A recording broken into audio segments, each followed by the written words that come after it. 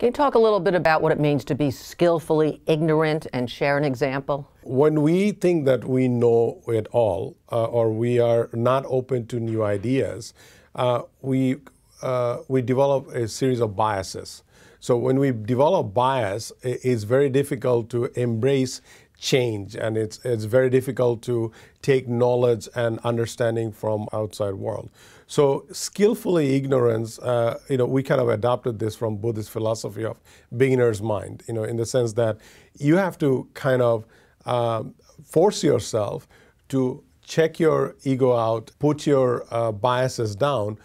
to constantly learn from whatever you can from other people, outside environment, and force yourself to get out of your comfort zone to you know grab uh, knowledge, and and that's what actually makes you uh, more more knowledgeable and skillful as time goes by. So it's a conscious effort uh, to to put out your biases and put down your biases and embrace uh, any bit of learning that you can possibly get from outside world.